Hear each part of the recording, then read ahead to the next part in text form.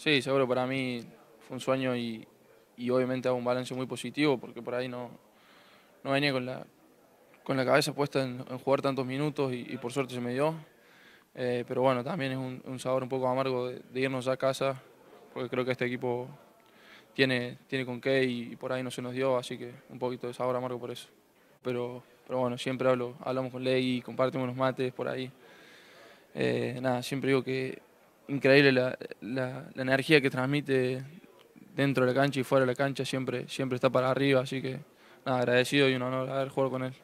Bueno, Sí, seguramente, hoy por suerte se, podemos jugar un poco más, eh, que por ahí no veníamos jugando tanto afuera, no encontrando tantos espacios afuera. Eh, y ser muy autocríticos en eso, en lo que por ahí fallamos en los primeros partidos.